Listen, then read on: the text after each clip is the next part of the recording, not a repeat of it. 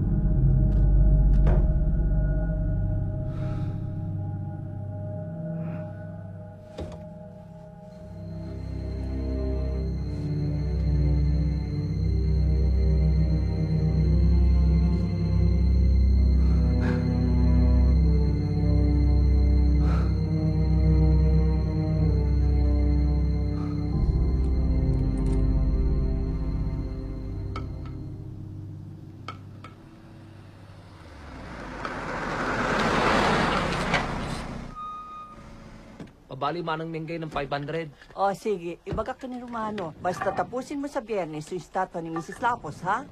Sige O po. sige. Oy, Edong, dali mo yan sa likuran, Gawin mo ha? lang. Dali ka.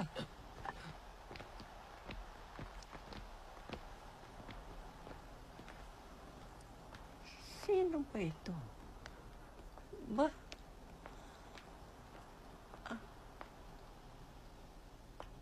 Manang Mengay, Luella? Tumuloy kayo. Maupo muna kayo sandali, ha? Tatawagin ko si Romano. Upo kayo.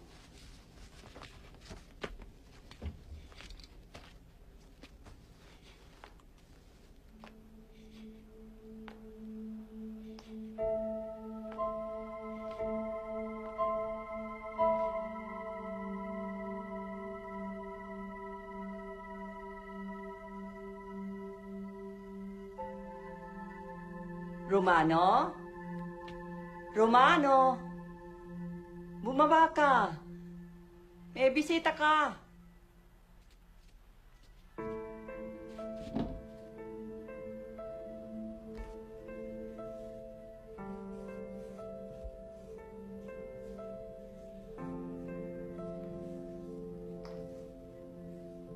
Sabel? Luella? Ako nga.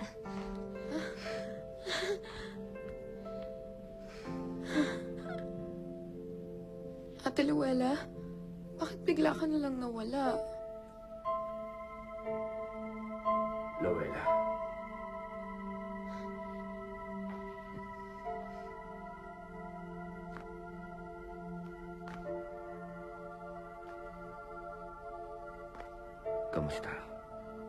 Okay naman. Ikaw? Baste! Ho?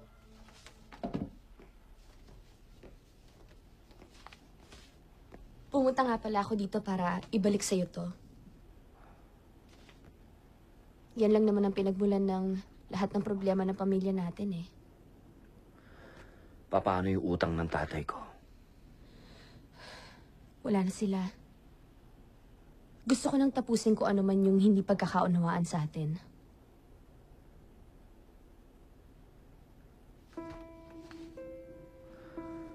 Salamat. Tsaka, um, isa pa palang pinunta ko dito. Ah, meron kasi akong kaibigan na doktor, espesyalista sa mata. Baka interesado kayong patignan na rin si Isabel.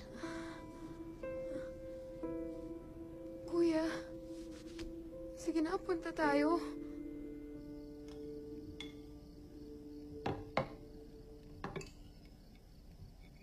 Ano kaya ang nakain ni Luella? Abay ng isang taong umuwi yan, nung bang death anniversary ng kanyang tatay. Ang sabi ni Linda, naglasing daw. At galit na galit na sinisisi kayo sa pagkamatay ng tatay niya. Tapos ngayon eh, nakikipag-ayos na. Wala naman ho sigurong masama.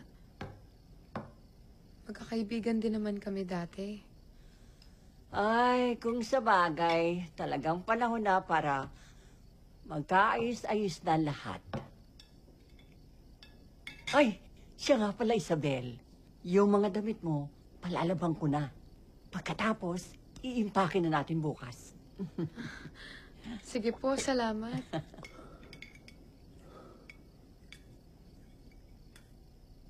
Talaga bang gusto mo magpatingin muli?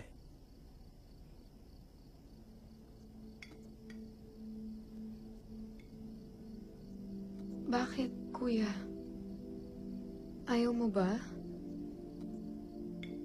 Hindi sa ganon. Mahirap ang umasa.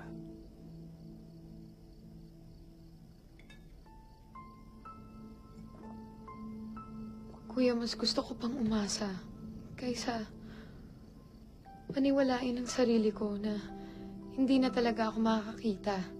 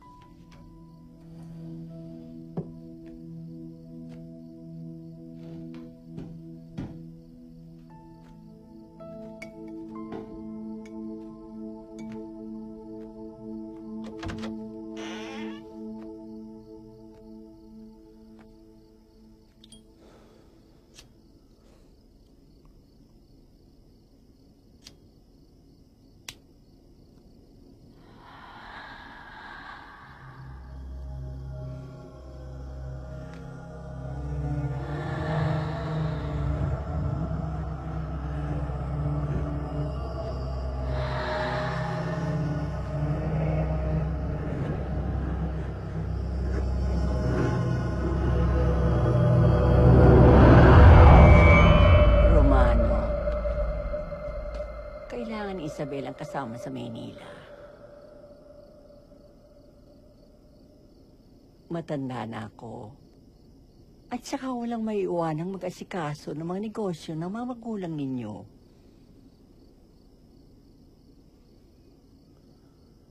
Ayoko kong nakikitang nasasaktan ng kapatid ko. Yan ba talaga ang dahilan?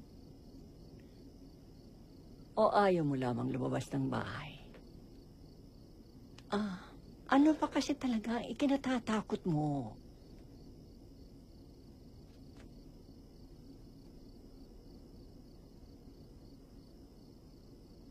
Wala ho. Romano, kailangan ka ng kapatid mo. Ito na lamang ang natitira niyang pag-asa eh.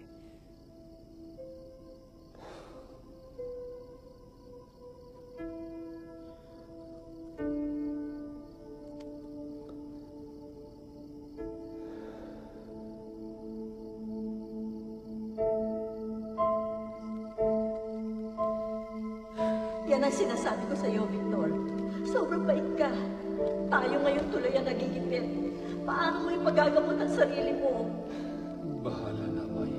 Bahala na. Hindi basta-basta yan sakit mo, Victor. May cancer ka. Di biro ang gagastusin dyan sa sakit mo. Kung di ka kasi nagpauto dyan sa tatay ni na Romano, di sana meron kang pampagamot ngayon.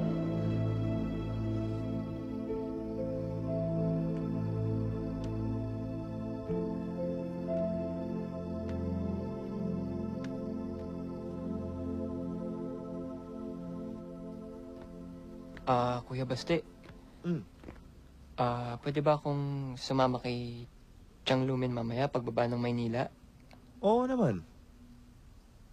Hindi ba talaga nakakahiya kay Doc Luella na makisabay kami sa pagluwas ninyo mamaya sa Maynila? Ngayon pa kayo mahihiya. Okay lang yun. Para namang hindi tayo magkakapit bahay dito. Sayang kasi ang pamasahe pag nag-bus pa kami. Pwede nang pandagdag yun sa gastusin sa lamay.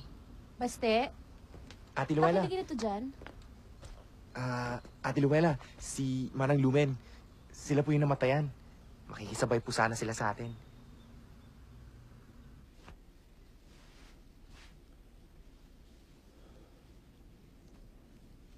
Kuya, ipahititod ni Auntie Mengay. Salamat. Ako nga dapat magpasalamat sa iyo eh. Sasamahan mo ko. Pero kuya, pwedeng maligo ka muna. Kasi nakakahiya naman kay Ate Luella kung sasama ka tapos ganyan yung amoy mo.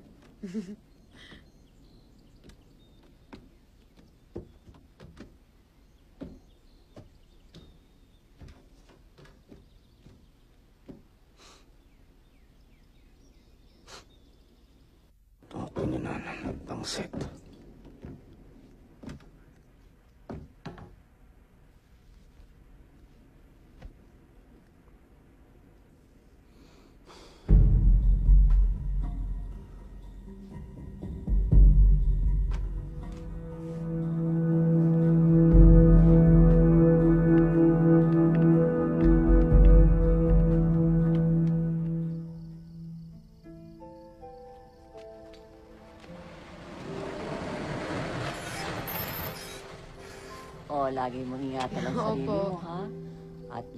kang magdarasal at hindi ka Opo. pababayaan ng Diyos. Opo, opo. Magandang gabi po, Alimengay. Magandang Ay, Isabel. gabi naman. Daling ko na po ito sa likod. Oo, sige. Salamat, salamat. Mag-iingat ka dun, anak, ha? Tulungan na kita dyan. Ay, Salamat, Thank you. Luella. Ang Kuya Romano mo, nasan na? lalabas na yun. O, ayan na siya. Buti naman nakumbinsin natin siyang sumama.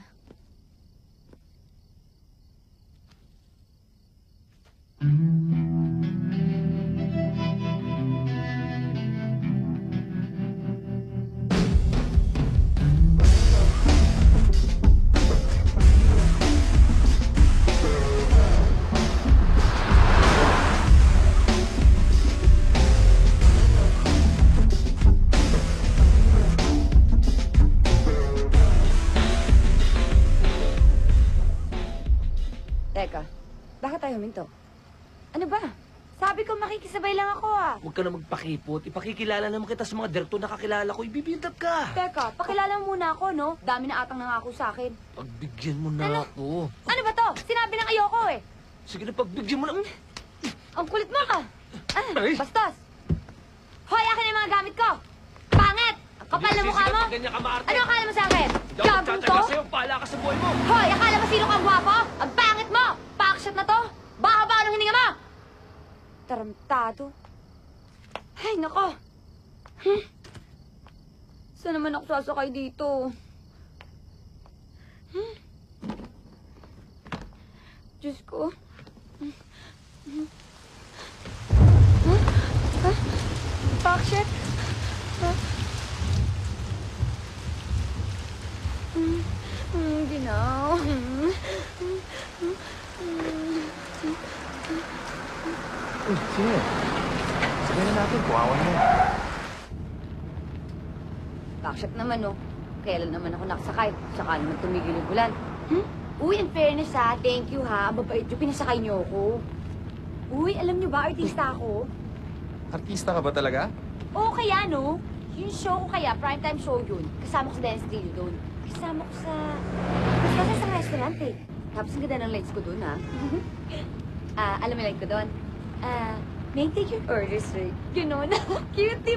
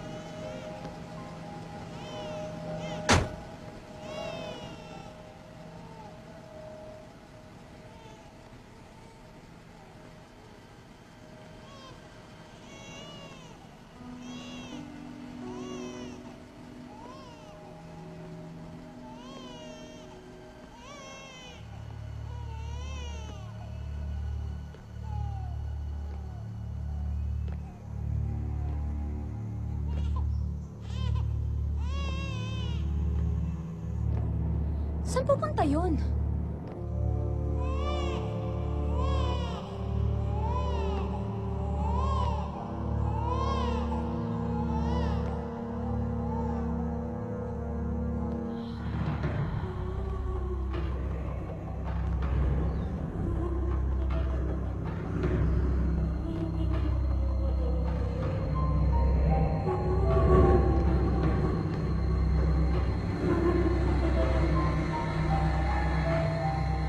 Romano?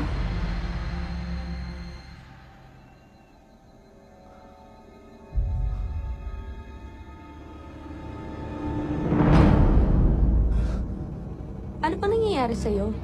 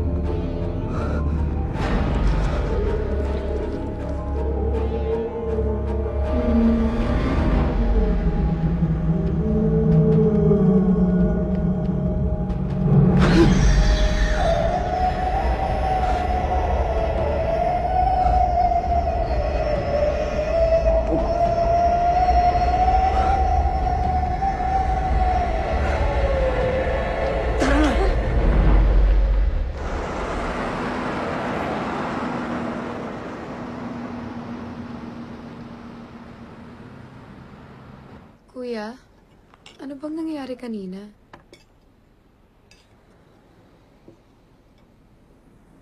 Wala.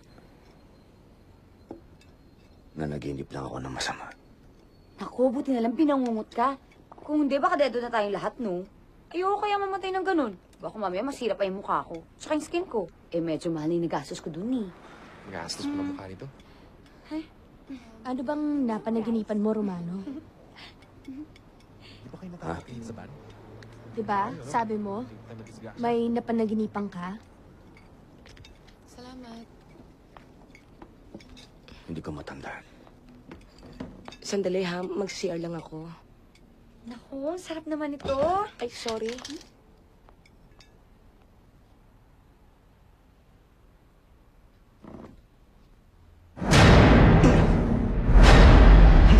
Romano, bakit? Ano?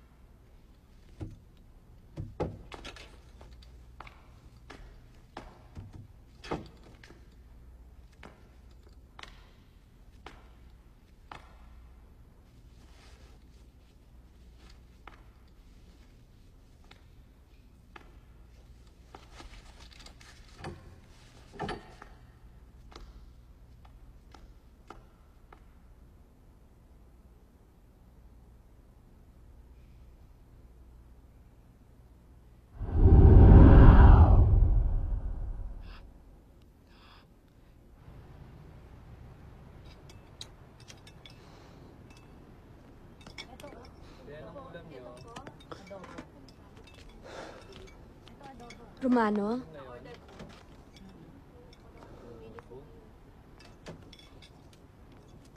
Romano, pasensya kanina. Gusto ko lang naman makatulong sa'yo. Hindi ka naniniwala. Hindi, Luella. Hindi ganun ang ibig kong sabihin.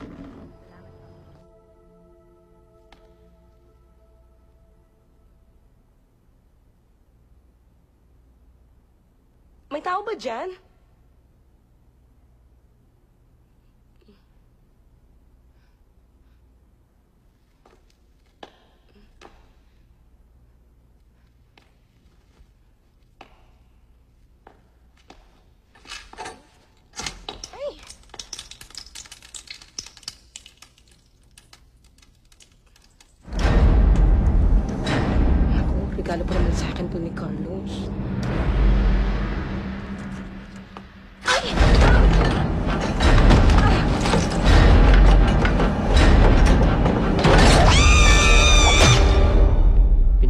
kasi sa akin ni nanay si Tita Lumen para lumuwas ng Maynila. Namatay kasi yung asawa niya eh. Mahirap talaga pag namamatayan. Lalo na pag aksidente, pag biglaan. Eh yung best friend ko nga, yung kababata ko, nagpakamatay nung isang taon. Nakakalungkot naman. Ayan, inabunukan ko na ah. Bayad na. Let's go. Alis na tayo. Ah, sandali. Si Tita Lumen wala pa eh. Tita Lumen? Tita Lumen! Hindi namin inaalis ang anggulong foul play. Iimbestigahan namin mabuti kung anong nangyari dito. At hindi niyo pa pwedeng dalhin ng bangkay Total, ito i-imbestiga pa.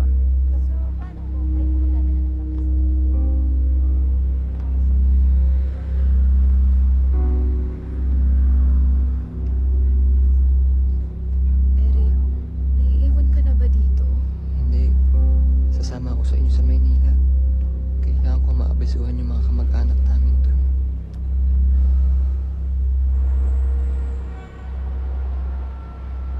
Eric? Condolence ah. Salamat, Christina. Smile ka naman dyan.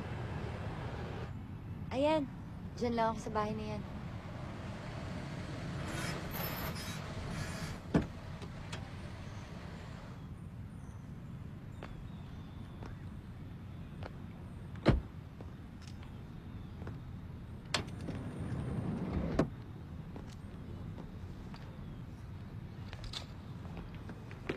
Eh, guys, salamat ah. Thank you. Bye-bye. Uy, Pogi, salamat ah. Sana magkita tayo ulit. Mm. Bye! Bye. Bye!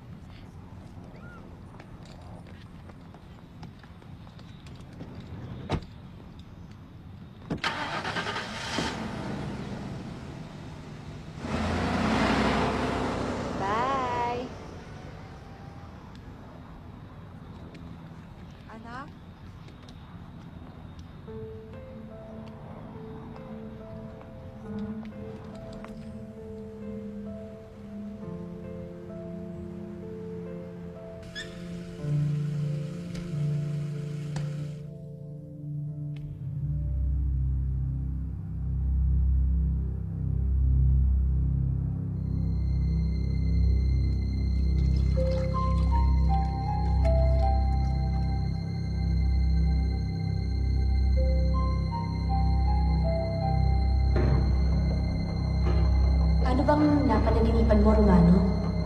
Wala.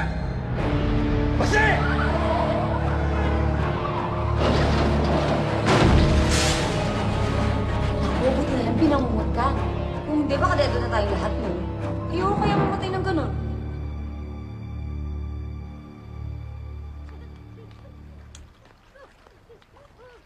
Pagkatapos nung nangyari kay Kuya, hindi na siya lumabas ng bahay. Halos linggo-linggo nga binabalik-balikan siya ng senior officer niya sa military para kumbinsihin bumalik sa serbisyo. Pero hindi niya to hinaharap.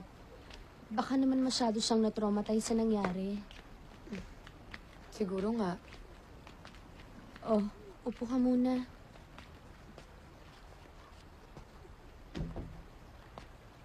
Nung nasa may highway nga tayo, pakiramdam ko may nakita siya. Kung ano man yon, hindi ko alam. Kwento nga sa akin ni Chamengay. Minsan, sumama raw sa kanya si Kuya mag-grocery. Bigla na lang raw siyang natulala. Tapos, bigla na lang nagyayang umuwi.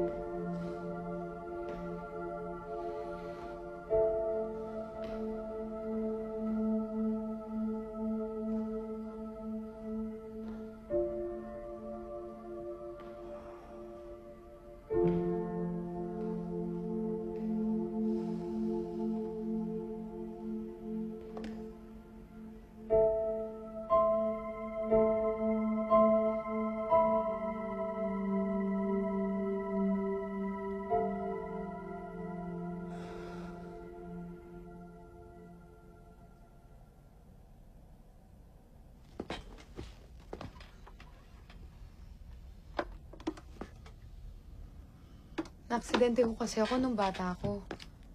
Naglalaro kami ni Kuya. Nahulog ako sa puno. Malakas ho kasi ang bagsak ng ulo ko. Kaya simula nun, lumabo na ang paningin ko. We'll do a series of tests again to evaluate the condition of the cranial and optic nerves, which were probably damaged as a result of her head injury. We can also perform laser surgery, but that's not a guarantee that we can restore her vision. It's a 50-50 chance. Sana naman, pagkatapos nito, makakita na ulit ako. Gusto ko nang makita kayo ni Kuya. Siguro ang gwapo-gwapo na ni Kuya. At ikaw? Ang ganda-ganda mo. And I won't argue with that.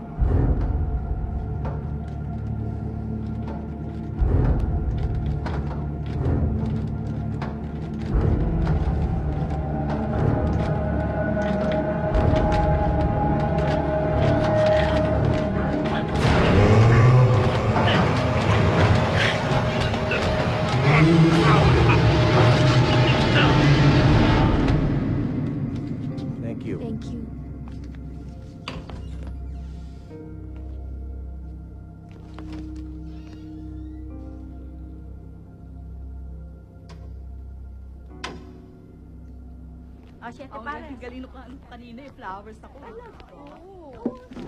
Eh, dali ba rin? Nadaya niya. Nakakas pa yan, ulo. Ate Luella, O, kumapit ka sa hagdanan, ha?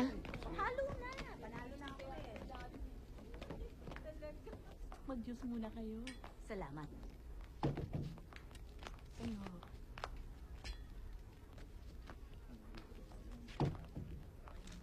Ang dami nga ditong nagpuntang kamag-anak niya. eh. Pinuntahan yung anak. Kasi ang dami-dami. Ayun, kawawa yung mga bata. Tingnan mo, ha? Salamat, ha? Oo, dumating na mga bata. Eric? Mm, Pinuntahan na. Isabel, Pinuntahan ng mga kamag-anak salamat po sa pagdalaw niyo sa buro ng tsuhin ko. Isabel, upo ka muna dito. Nahati yata yung mag-asawa. mga Ate, kuya, upo ho muna kayo. Salamat. Ano na nga pala yung tita Lumen mo? Ah, pwede na naman naming makuha yung bangkay niya eh. Kaso hinihintay pa namin yung release papers sa La Union. Ah. Siya nga pala. Babalik na kami ng Baguio sa Makalawa. Eh, naisip ni Ate Luella. Baka gusto mo sumabay pabalik. Ah, ah... hi- hindi na. Salamat na lang. Nagkausap na rin kasi kami ni nanay. eh. Susunod siya dito sa Maynila para sa burod ng kapatid niyang si Tita Lumen.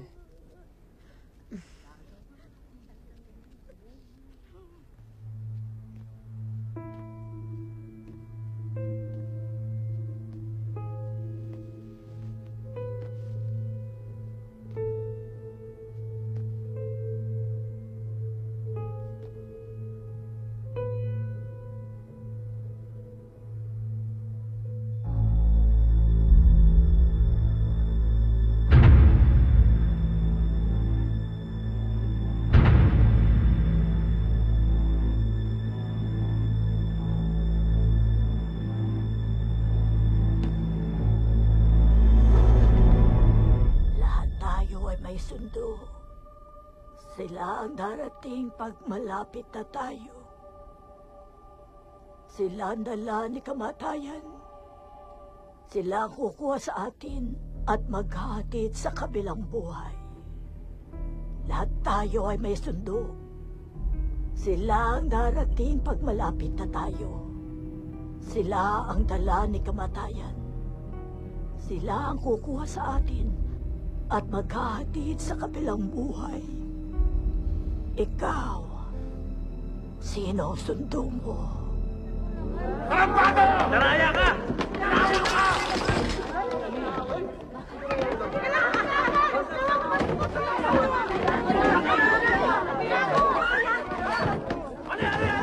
Ano nangyayari sa labas? Ewan ko.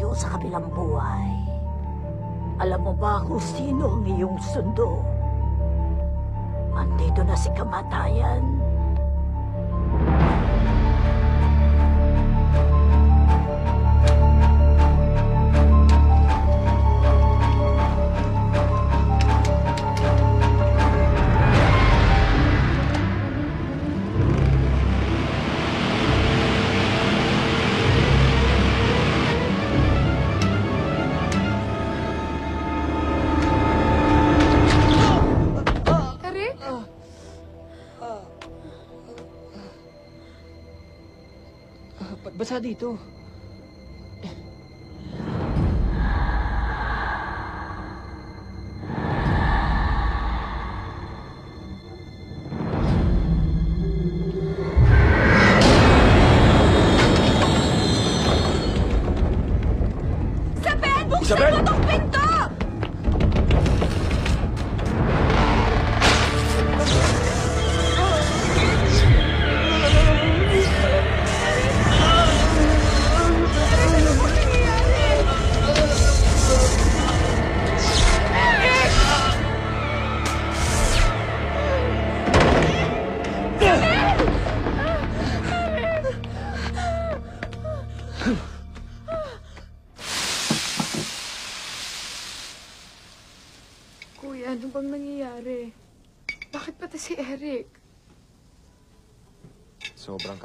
kamalasan naman to. Bakit masunod-sunod yung trahedya? Alam ko may tinatago ka sa amin, Romano. May alam ka sa nangyayari. Yun nangyari sa highway. Si Lumen, kay Eric. Ano ba talaga yun? Bakit di mo nalang sabihin sa amin? Hindi ko na maintindihan. Pagkatapos ng engkwentro, nakumatos ako. Pagkagising ko, ang dami ng kababalagan. Nung napanaginipong kong madidisgrasya tayo, pinatigil ko ang sasakyan.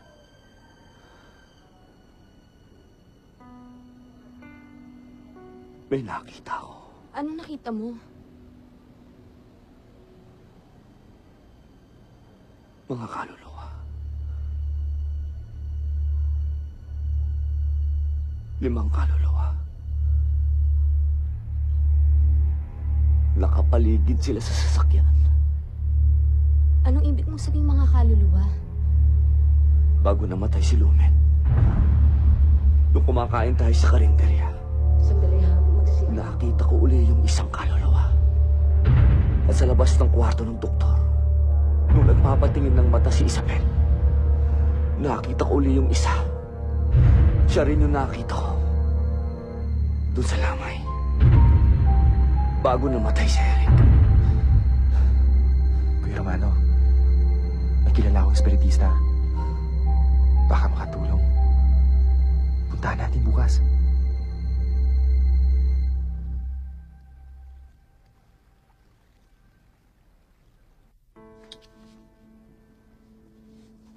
Nakita ko sa taas, sa may mesa.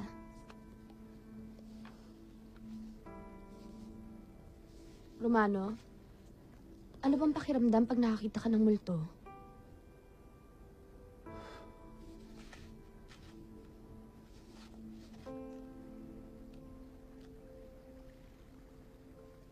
Parang hindi totoo. Akala mo, namamalikmata lang. At ang balahibo mo, tuloy-tuloy ang pagtaas.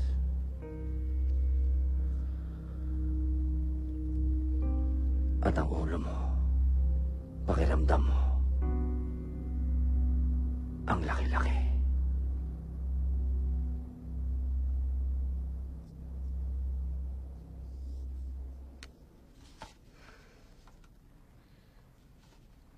Alam mo, nung namatay si Papa, I always wondered kung ano magiging reaksyon ko pag nagpakita siya sa akin. Matatakot ba ako matutuwa? Hintay ako ng hintay noon pero wala rin. I guess I really don't have the eye para makakita ng ganong kababalaghan. Ang sabi dyan sa libro, kung gugustuhin natin, kahit sino pwedeng makakita ng multo. Ang kailangan lang, buuin mo ang atensyon mo. Ituon mo ang tingin mo sa kabuuan ng kwarto.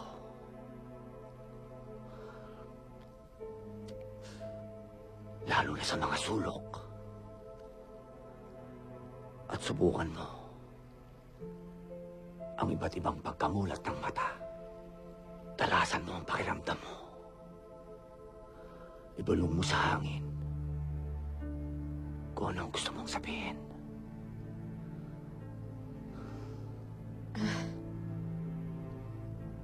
Sige, babasahin ko. Una na ako, ha?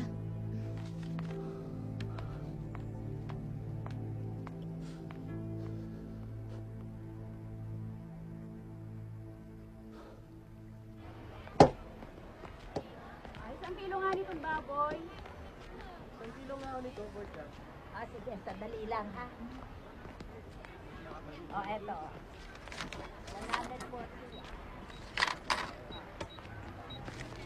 140. Magkano ba ito? Me po, bossing. Ah, saan po yung kay Cha Elma? Chang Elma? Ah, kay Chang Elma. Ah, doon. Doon yun. Doon daw. Oh. Salamat po. Ah. Excuse me po. Kayo po ba si Cha Elma? Bakit? Anong kailangan niya? Ikaw nga si Cha Elma. Kuya Romano, si Cha Elma.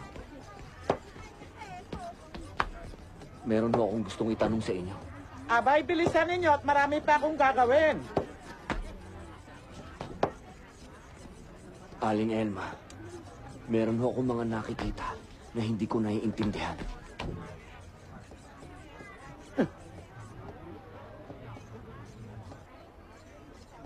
May pera ba kayo? Dito tayo sa mas tahimik. Sunod! Oy, bilisan nyo! Oh, dahan-dahan lang.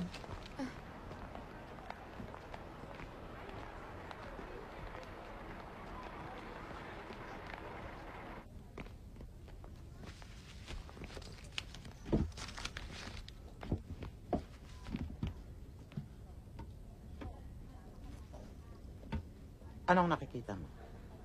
Magmula nung nagising ako. Sa pagkakomatos. Nakakakita na ako ng mga kaluluwa. Pero ngayon, ginagambala na nila ako.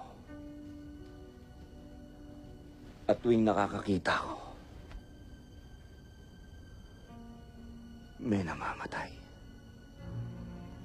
Yung isang kasama namin, bago na disgrasya, Sayang kasi ang pamasahe pag nag-bus pa kami. Pwede nang pandagdag yun sa gastusin sa lamay. nagpakita sa akin yung asawa niya. Yung isa, yung kaibigan niya. Eh, yung best friend ko nga, yung kababata ko, nagpakamatay ng isang taon.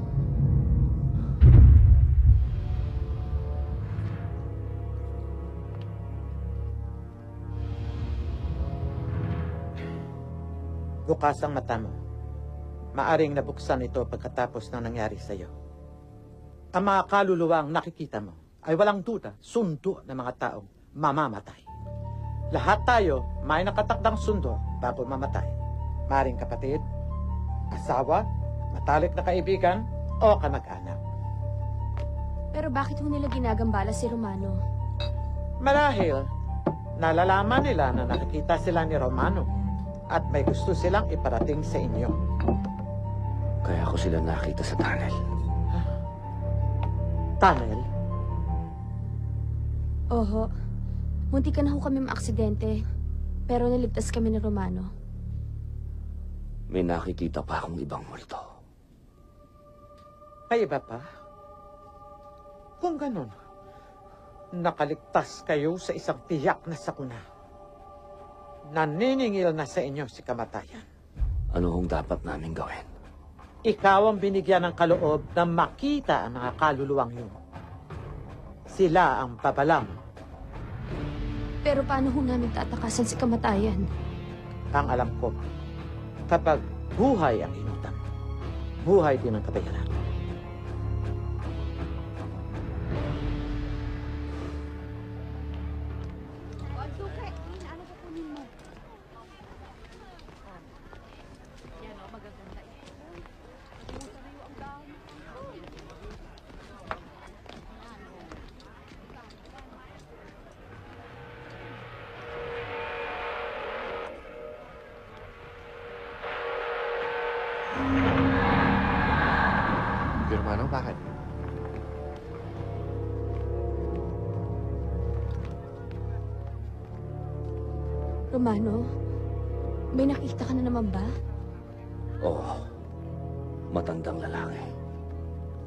Nakita ko na sa highway.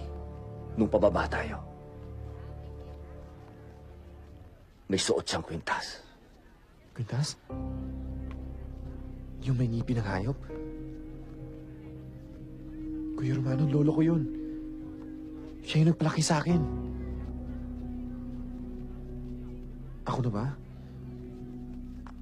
Ako na ba susunod na mamamatay?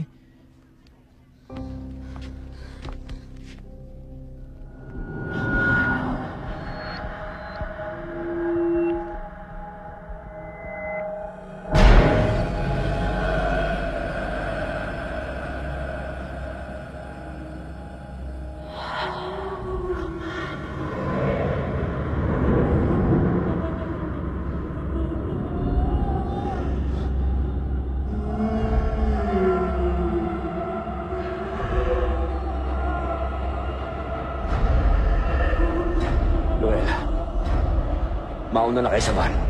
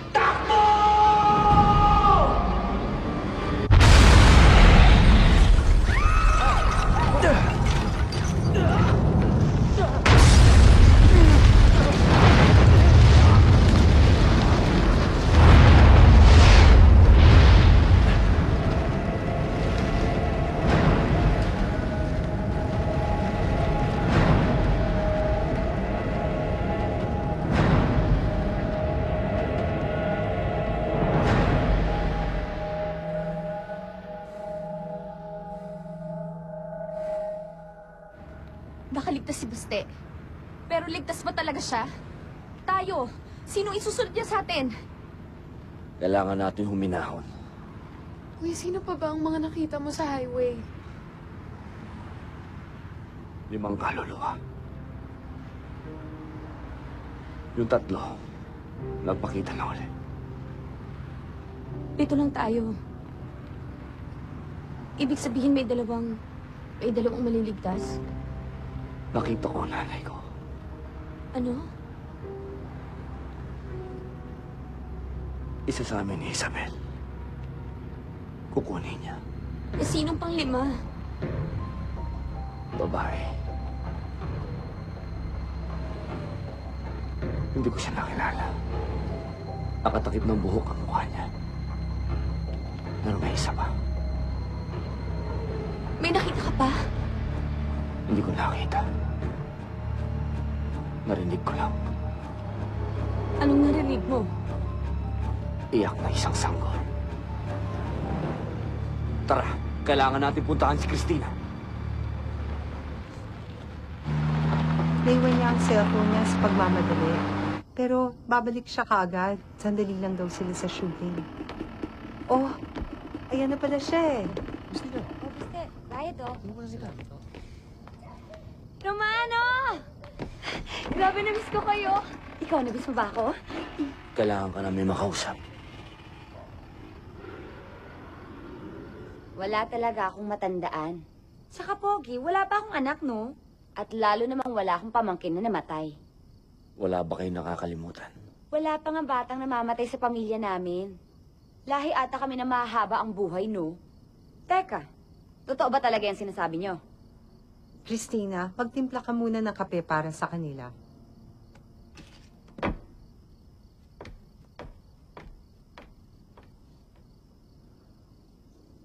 Mrs., huwag niyo pong mamasamain. Pero, totoo po bang wala siyang naging anak? Sigurado kung wala siyang anak. Ni boyfriend nga wala siya eh. Pihikan niyang aking anak.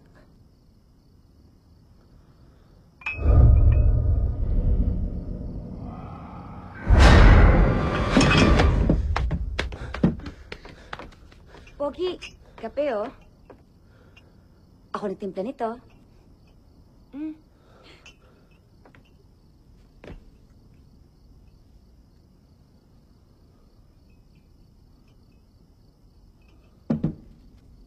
Christina, hindi ka ba talaga naniniwala sa amin?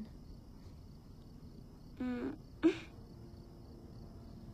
Labas muna kami. Papahangin lang. Sabel, tara.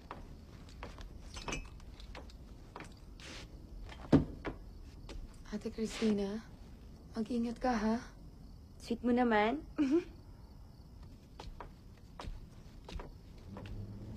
Uy, ang sweet ng kapatid mo, ah. Pero bakit yung isa palagi nakaasim sa akin? Pinaglibre yun sa suka. Ay, alam mo, pakiramdam ko, may gusto sa'yo yun eh. Totoo yung sinasabi namin sa'yo. Nagpunta kami rito para bigyan ka ng babala. Alam mo, hindi naman ako takot mamatay eh. Eh, ano mo magagawa kung oras ko na, di ba? Makikipagsabunutan ba ako kay kamatayan? Eh, papagurin ko lang sarili ko. Basta ang ayoko lang, mamatay ako ng pangit. Kung gusto mo kong bantayan, protektahan, gwardyahan, 24 oras, hindi kita pipigilan.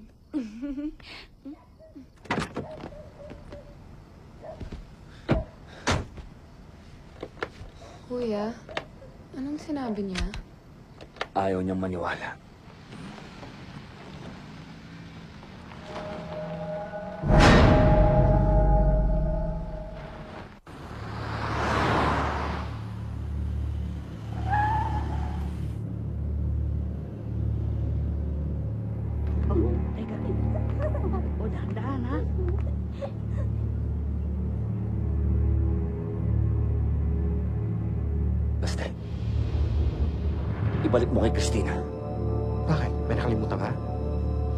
Ibalik mo. Romano, bakit? Alam ko na kung sino sundo niya.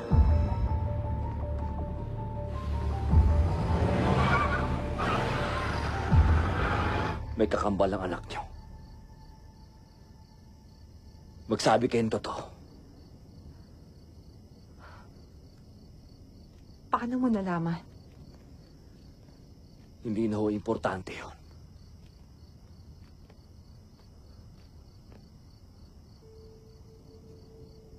Kinailangan kong ipaampon ng isa sa kanila dahil sa hirap ng buhay. Pinili ko si Christina dahil mas malambing siya at madaling alagaan. Ang alam ko, minatrato siya mga taong kumukup sa kanya. Hanggang nagkasakit siya at namatay.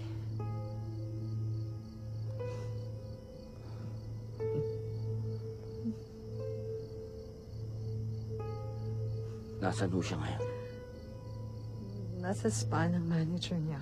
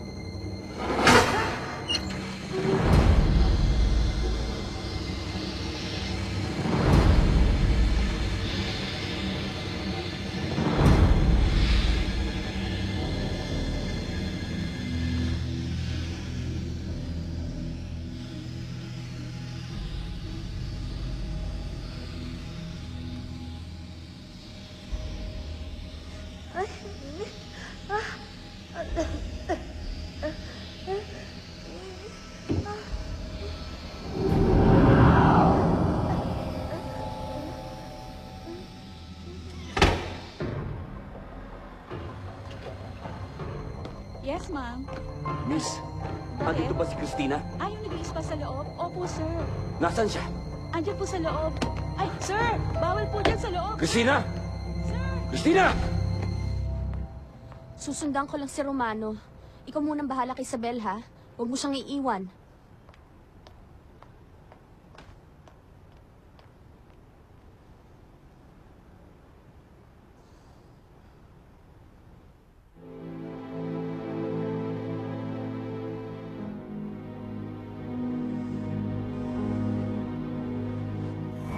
Po lahat, kuya?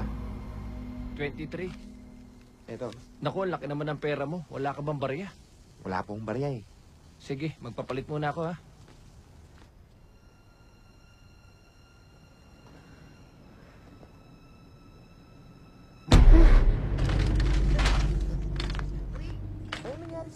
Hoy! Pag nagasgasan nyo yan, babayaran nyo yan! Tara, tayo! Bilisan mo! Christina! Tulong!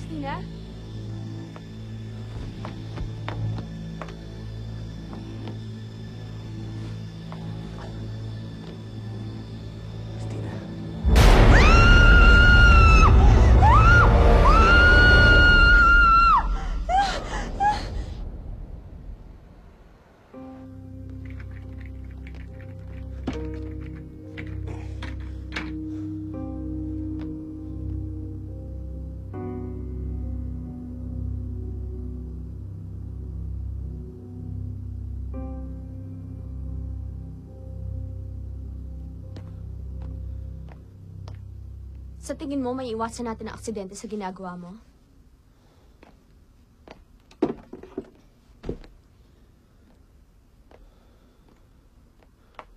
Espiritong kalaban natin, Romano, hindi tao. Magagawa niya lahat ng pwede niyang gawin. Hindi natin siya matatakasan. Mamamatay tayong lahat. Doktor ako. I- I've seen death. But not this way, not like this.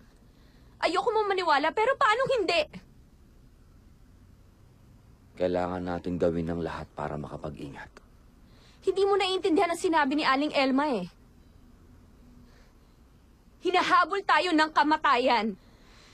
Kailangan natin mag-alay ng buhay dahil buhay ang kukunin, buhay din ang kapalit.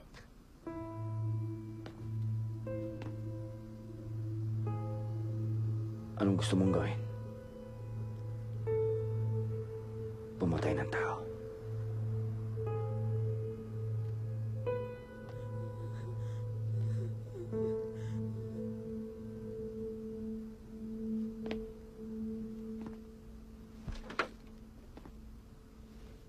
Kuya, hindi kaya kasalanan ko ang lahat ng ito? Kundi dahil sa akin, hindi sana tayo sumama sa biyahe pa Maynila. Huwag ka na mag-isip. Wala kang kasalanan. Magpahinga ka na. Kuya, sino kaya sa atin ang sinusundo ni Inay?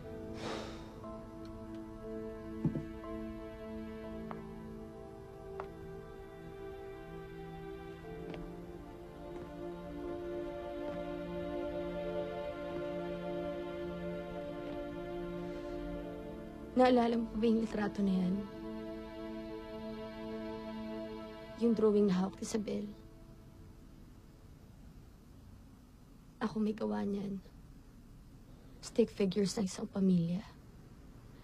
Isang tatay at isang nanay. Isang baby. Noela. Wala kang dapat ipag-alala. Wala akong nakikitang multo.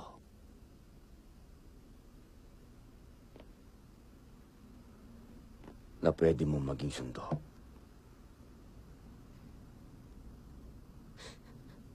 Sabi ko nun, sana, pag nagkaanak ako, lalaki, Romano, yung sanggol na naririnig mong umiiyak, siya yung sundo ko. Ano ibig mong sabihin? Nabuntis ako nun. It was a bad time for me. Nasa med school pa ako nun. Pinalaglag ko yung anak ko. Pinalaglag ko yung bata. Naramdaman ko. Ako na yung susunod. Anak ko yung susunod sa akin. Susunod niya na ako.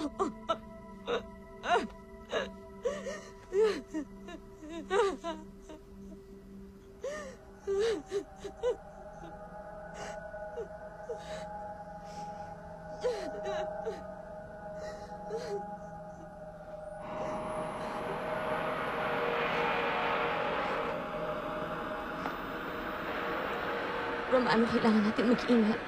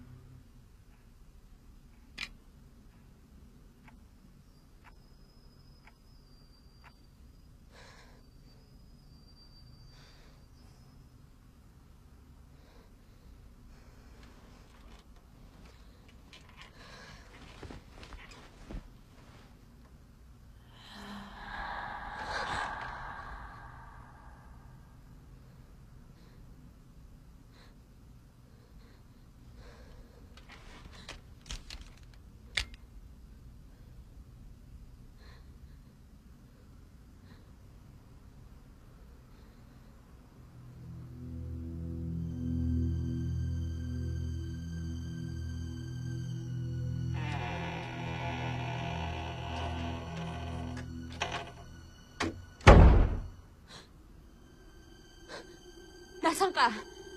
Magpakita ka sa akin. Harapin mo ako!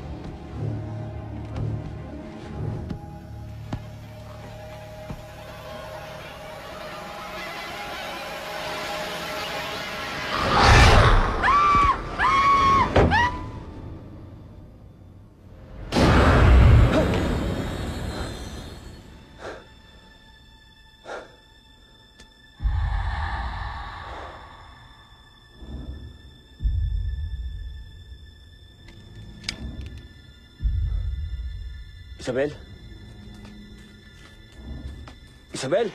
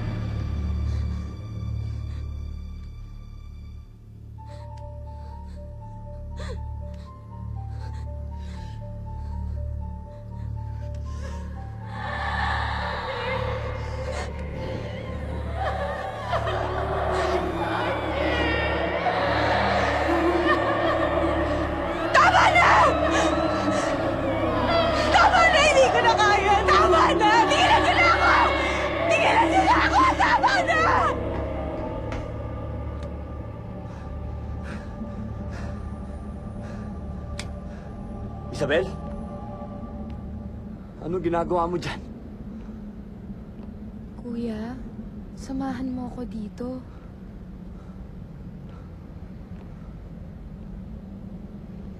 Bumaba ka dyan.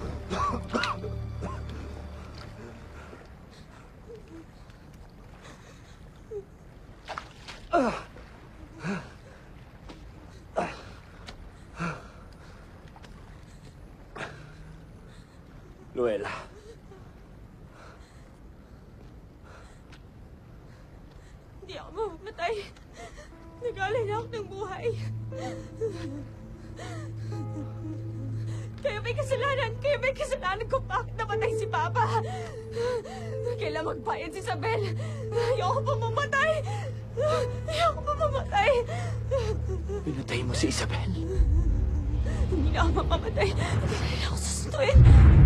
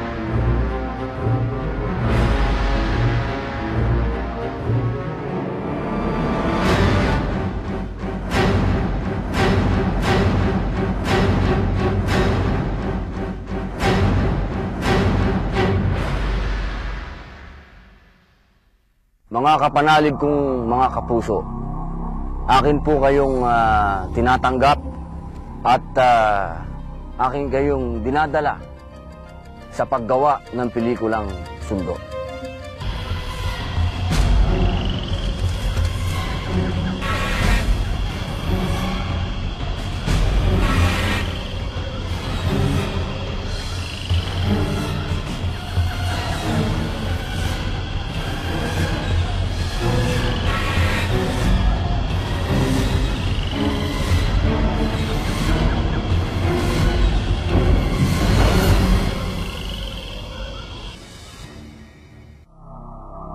Pangalan ko po rito ay ah, Romano.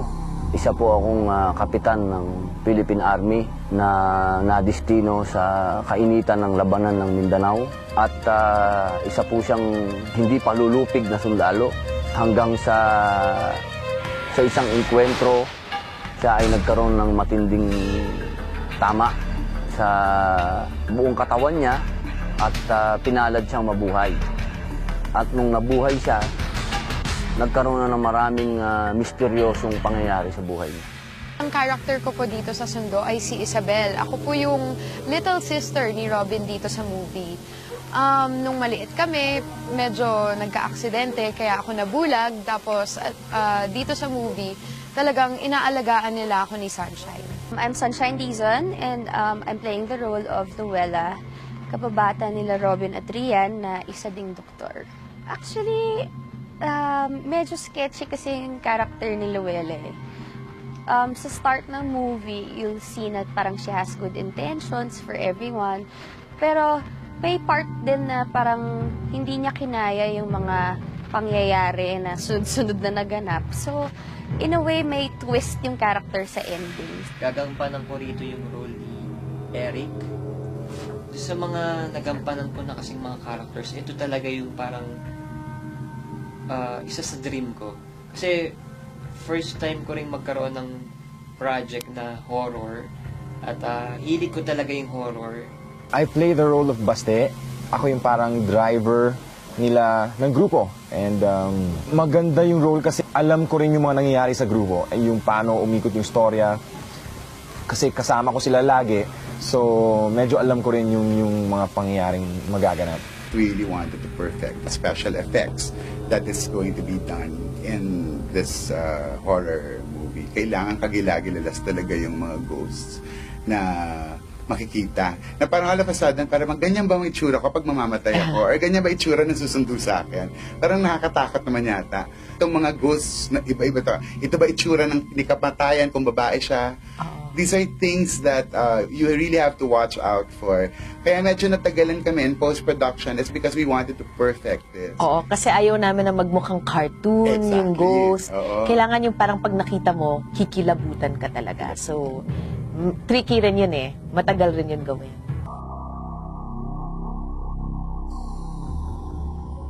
I was in a party and then one of my friends in that party, may kwento siya na real story daw. Sabi niya na meron siyang friend na nakakita ng mga multo. Pero yung friend niya, weird yung nangyayari kasi isang time, paakit siya sa Baguio, biglang pagdungaw niya sa labas ng window, nakakita siya ng marami daw na nag-iintay na parang mga multo, pinabayaan niya. And then the next day, headline na na may bus na tumaob dun sa dun sa exact part of the zigzag road kung saan niya nakita yung mga multo. So parang naisip niya, ba't ganun? After that, that same person, dumadaan daw sa isang market, invest market. Tapos nakakita na naman siya ng mga tao, yung mga multo na naman. And then the following day or a few days after, nasunog yung market. Bukas ang mata mo. Ang mga kaluluwang nakikita mo ay walang dudang sundo ng mga taong malapit na ang mamatay. Kasi alam natin na meron namang mga eh, um, accounts na may mga sinusundo sa mga ospital o kaya yung mga matatanda on their deathbed, sinusundo ng mga kamag-anak na namatay na before. Pero this was the first time that I heard of a person who would see groups of ghosts tapos may accident na mangyayari that would take lives away. So parang ang daming sumusundo sabay-sabay. Kaya doon nagsimula yung yung naisip ko na ba't hindi tayo gumawa ng twist dun sa account ng mga sundo na gawin natin medyo suspense, na medyo may pagka-action, na bagay na bagay sa isang Robin Padilla. idea talaga to ni na ano ni na Miss Annette tsaka ni na Sir Joey. Tapos nung binigay na sa akin yung script ah, nakita ko na kakaiba siya dun sa ibang horror movies or shows na ginawa ko. Kasi dito kasama si Death mismo. Dati it's all mostly ano lang ghost lang yung mga characters. Pero dito may kasamang kamatayan Ako ay laging may pananabik kapag ka gumagawa ako ng pelikula sa GMA. Kasi pag meron silang proyekto, mismong ang kausap mo ay si Miss Annette. At si Miss Annette ay ah, handang tumugon sa pangangailangan ng katulad kong artista. Nung iniisip nga namin yung concept ng sundo, sinasabi namin na kailangan may action. It's iba to. This will be a horror movie pero may touch of action. So tamang-tama, nagkaroon kami ng meeting with Robin about a new movie na mag-offer kami sa kanya. And I brought the concept of sundo up sa meeting namin na nagustuhan niya agad. Lalo na dahil gustong-gusto niya si Direk Topely. Magkaibigan pala sila way back. So, nung sinabi namin na concept namin to for Topel, sobrang naging excited si Robin Padilla. Katulad nung unang binigay sa akin yung script, eh gusto ko yung palaban. Hindi po pwedeng si Robin Padilla, eh matatakot kahit sa multo. Hindi ako natatakot. Dapat di siya natatakot sa multo. Ah, agad naman siyang tumugon. So, dinevise namin para lumabas yon isang action star ay bida sa isang horror movie. So, yun yung combination na talagang binantayan namin when we came out with a final script. Eh, natuwa naman ako. Pinabago niya yung script, pinadala sa akin. Ah, nabuhay yung Robin Padilla sa script. Kaya ako, masaya ako sa GMA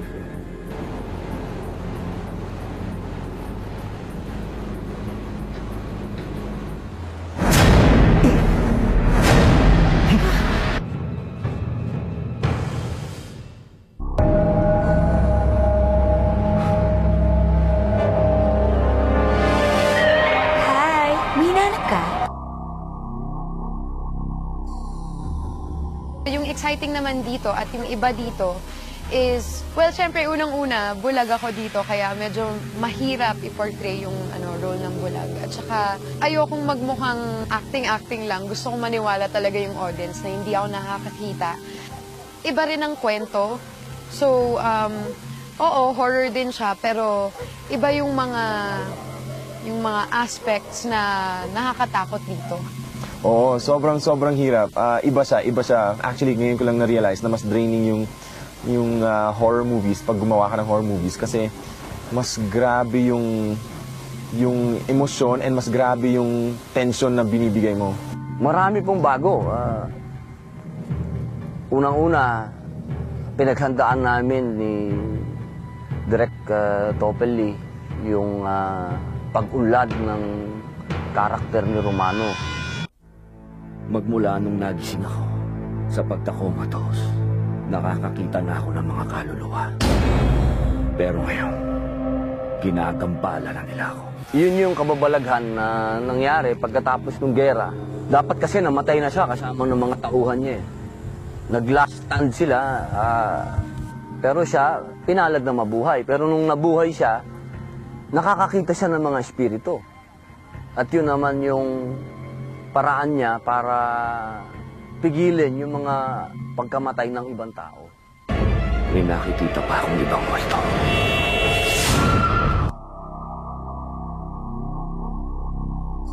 when we were preparing for the script, um, very particular din si Robin kasi nakakakita siya talaga. Kaya yung explanation ng script, ang dami niyang input na naipasok rin sa magiging itsura ng multo, kung ano dapat ang totoong feelings. Kasi siya mismo nakaka-experience nung ganon.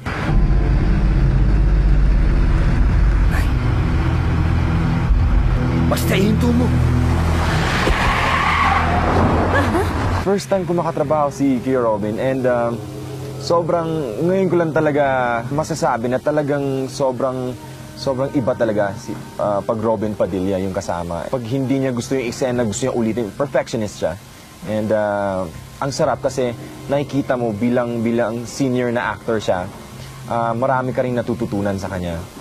he comes at least two hours or three hours before his call time. Ninanamnam niya muna yung location.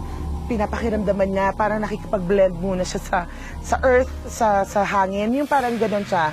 From the time that he's done with his makeup until the time that the assistant director would call him, motivated na siya. Alam mo yan, sa pagdating niya sa set, handang-handa siya mag-shoot. Very professional. He's always pleasant and he knows what he has to do on the set. Alam mo yung ganon. He, he comes prepared. na starstruck din ako minsan kasi once na nag-emote na siya. Nadadala niya na yung, yung character na naiisip ko for, for this movie.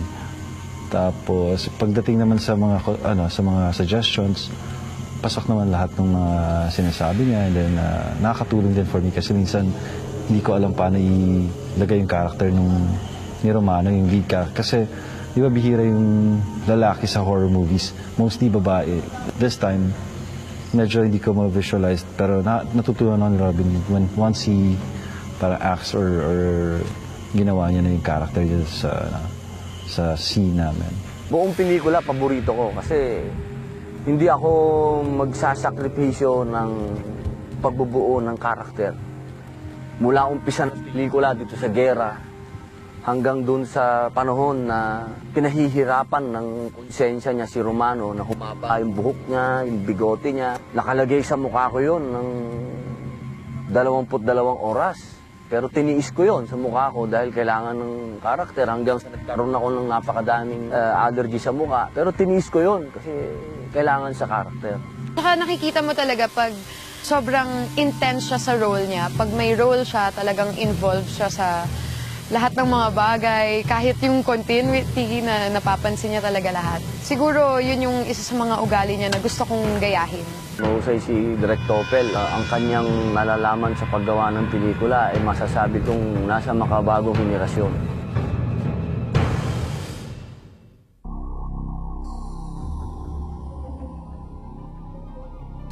Iba-iba yung mga kinuha nating casting dahil yung mga bawat characters dito talagang may kinalalaman doon sa main plot ng pelikula. Mark Bautista, ano, ah, hindi ko alam na umaate para si Mark. Kala ko singer lang siya. Pero this time, nakita ko na he can act din pala. Um, meron kami scene na really gory accident kay, kay Mark. Because of that acting ni Mark sa, sa particular scene na yun, nadala yung mga, mga producers namin. Unang-una natutuwa ako kasi hindi naman ako, I'm not from GMA pero talagang tinanggap nila ako. And um, sobrang bait ng, ng buong uh, production, ng casts. Yung buong cast, hindi naman ako na parang yung treatment nila, hindi naman iba. So mabait sila sa akin. And uh, um, relax ako sa, sa set. Hindi ako ilang, hindi ako ilang sa ibang casts. Si Ate Sunshine kasi ano uh, napapanood ko lang siya before eh. So this time, kinabahan ako nung nakasama ko siya talaga. Kasi sobrang galing na artista, ah, kaya niyang i-portray kahit anong role pa ibigay sa kanya. Si Katrina, um, daming revealing, ano, revealing, uh, uh, kumbaga acting prowess ni Katrina dito. Uy, alam niyo ba, artista ako? Artista ka ba talaga? Oo, kaya no. Yung show ko kaya, primetime show yun. Kasama ko si Dennis Trillo doon. Ah, alam mo like ko doon? Ah, may I take your order, sir? Yun Cute, di ba? Siguro yung pinaka-challenge lang, yung syempre para makakita yung tao, di ba? Pag may ilaw, usually pumapasok yung ilaw sa mata, kaya nakakakita yung tao. Yung mahirap naman pag naka-contacts, um, lalo na pag ganitong kulay, naka-block siya. So pag nailawan na, nagbabounce lang, hindi siya pumapasok sa mata. So, ngayon, hindi ko makita ang camera.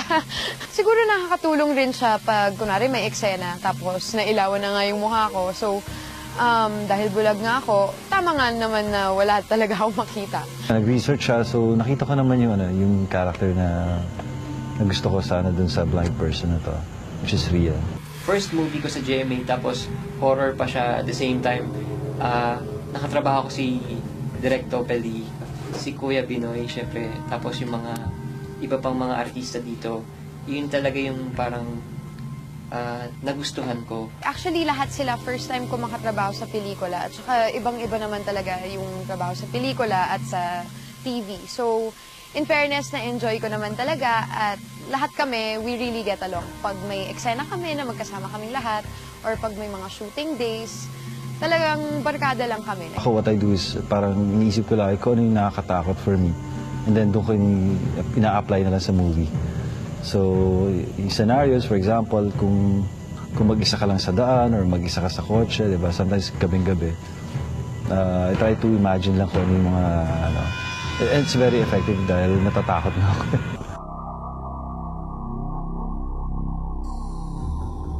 Well, um, syempre si Topel, nakatrabaho namin siya sa Ouija, which was a very, very good horror movie. And again, after watching Sundo, parang na-confirm namin na talagang he's one of the best directors of his generation, lalong-lalo na sa horror movies. This is my third movie with Direct Topel and wala siyang pinagbago from the first movie we've done. Sobrang mabusisi siya, nakakainis kasi ang tagal-tagal, pero pag nakita mo naman yung end product, kahit na hindi pa siya edited, you will appreciate him so much. Relax din siya sa set so hindi ka pressured masyado. So, ikaw bilang aktor, in-explore mo yung capacity mo, kung paano mo atakehin yung role mo. And at the same time, andun siya para magsuporta sa'yo. Gabayan kanya kung anong mas maganda, anong mas mas okay na, na atake. So, na, nag-guide ka rin niya. Kasi kita mo naman sa tao pag sobrang passionate siya sa ginagawa niya. At nakikita ko yung passion niya sa project na to. Hindi ko siya nakikitang hindi hawak yung mga boards na lagi niyang dinodraw para sa movie. Ang dami niya laging shots. Talagang pinaghihirapan namin yung movie na to in a sense na binibigyan namin ng tamang time. Kunwari, isang buong araw para kahit isang eksena lang, basta maganda, okay lang, worth it. Mahusay yan. Mahusay si Direk Topel. Ah, ah, ang kanyang nalalaman sa paggawa ng pelikula ay masasabi kong nasa makabagong henerasyon. At ah, hindi siya pahuhuli sa masasabi ko na mga dayuhang direktor. Si J.A., ah, nung time na pinakita niya sa akin kung paano niya aatakihin ah, yung photography ng buong pelikula, ah, talagang na-impress na ako kasi meron siyang gustong gawin na para maging different lang yung look. Sabi ko, paano gagawin yan? Sabi ko, very Hollywood naman yata yung gusto niya mangyari. Baka hindi ko kayang bayaran. Di ba? Pero we realized that na with the parameters dun sa gagalawan nila as far as the direction of photography is concerned, nakita namin ang laki-laki ng potensyal. Ah, magaling siya. Sobrang galing tong ano, si Jay. Hindi na ako nahihirapan i-visualize yung, yung mga look ng shots na gusto ko. I just try to tell him kung ano yung angle, pero yung application ng lighting, yung contrast, automatic na yan na nakikita ko na sa kanya yung gusto ko. honestly, this is one of the darkest movies that I've done. So in terms of lighting, in terms of look, we wanted it more contrasty, more blacks, more darkness, and more monochromatic. Direk and I kasi felt that it's more scary to to treat it that way. Um, hindi siya nag-experiment. Alam niya talaga kung anong gusto niya. The way he, he showed us kung ano yung magiging look ng buong movie, sobra kaming na, namangha at nag-excite. Even Robin, when he saw um, J.A.'s work, and nung test shoot pa lang namin na nagpakitang gilas na siya, at excited na excited ako kasi ang ganda-ganda nung color mood nung pelikulang to. Actually, from the start pa lang, I have parang meron na akong consistent peg in my head of how it's gonna look. No? So, basically, the techniques I use in, in every sequences is almost the same. No? Because we want, what we want to keep actually the, the mood consistent. Eh. I have a great producer. I have a great team talaga. I'm, all are supportive and they understand if you need this, they, they work it out for you. Um, very organized, and I, I, I like the team. Actually, I'm, I'm really happy to be working with GMA. Dun sa digital cam ni Miss Elaine, may isang picture ako doon na may nakatayong kulay puti na matangkad sa likod namin.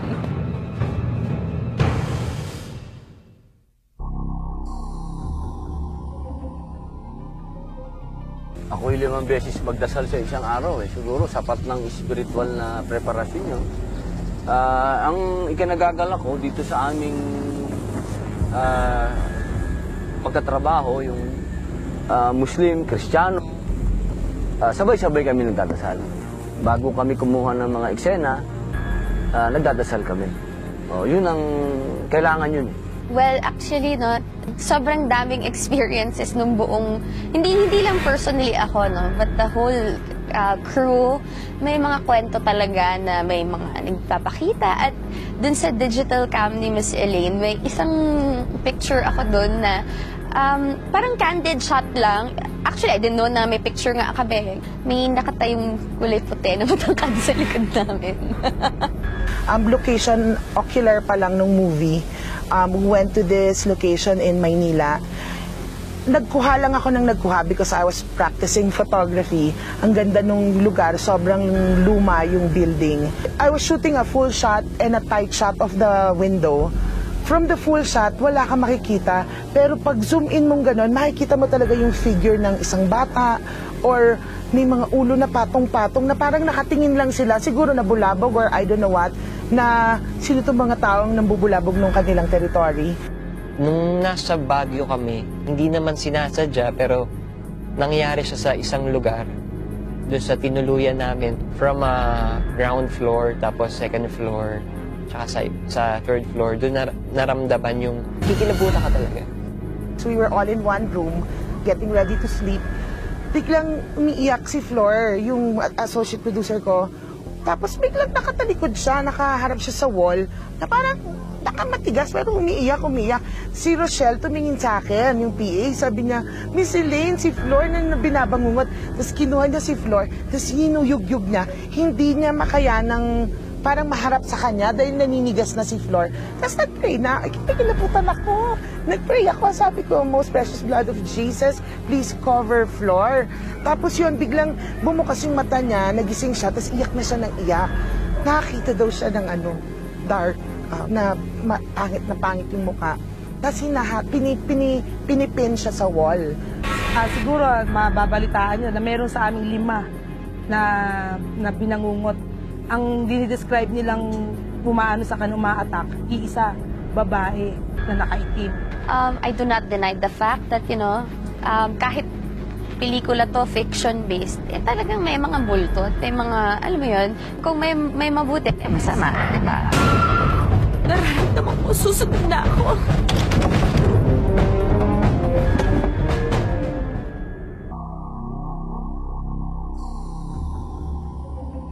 we're all looking forward to to seeing this movie already on a big screen kasi um, making yung pinakina-conceptualize pa lang siya at saka nung pinagmimitingan pa lang namin, eh natatakot na kami. Especially kay Robin kasi si Robin has somehow they call, what they call a third eye. Sa lahat po ng viewers, ah, ini-invite ko po kayo na manood ng ah, Sundo under GMA Films. Sana po abangan ninyo. Ah, maganda po ito, horror movie. Sana po panoorin at supportahan ninyo. Sana po mapanood niyo lahat ng sundo at sana po ma-enjoy niyo. Not your usual horror flick. So I'm sure everybody will enjoy it. Yung mga titili kayo, magugulat and all. So sana po panoorin niyo ang sundo. Sana'y makita nyo ang aming bagong pelikula na talagang pinaghandaan namin that stars Robin Padilla sa kaibang role. Nakasama si Sunshine Dizon, ang dalawang leading ladies ng GMA na si Katrina Halili at si Rian Ramos at ang isang pop balladeer na si Mark Bautista at ang bagong kapuso na si Hiro Angeles. We would like to invite everyone to watch Sundo. This is the first horror movie of the year, showing in theaters nationwide. At talaga namang we're very proud of this movie. Nakakatakot siya, yet talagang mapapaisip ka rin dahil nagbibigay kami ng mga questions dito na talagang papag-isipan ng lahat ng manonood. Mga mahal kong kapanalig, ah, mga kababayan, uh, inyo pong ah, panoorin ang pelikulang Sundo dahil ito pong pelikulang to ay ah, naglalaman ng mga masasabi po nating mga kababalaghan ng buhay na hanggang sa ngayon ay hindi po maipaliwanag ng siyensya. Magmula nung nagising ako sa pagtakomatos, nakakakita na ako ng mga kaluluwa. Pero ngayon, ginagambala na nila ako. At tuwing nakakakita ko, may namamatay.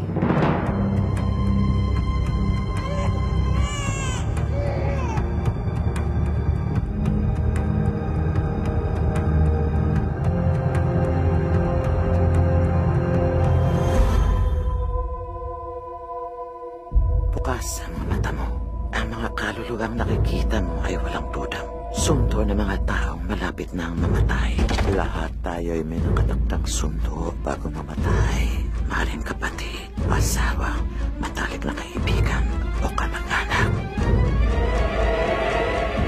May nakikita pa akong ibang multo. Nararamdaman ko, susunod na ako.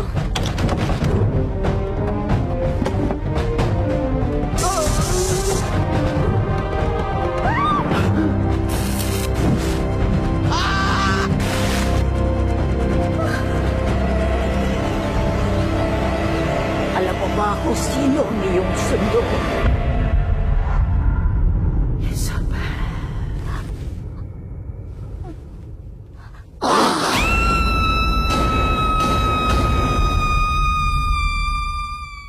Inaanyayahan ko po kayong tuklasin ang sinasabing sundo.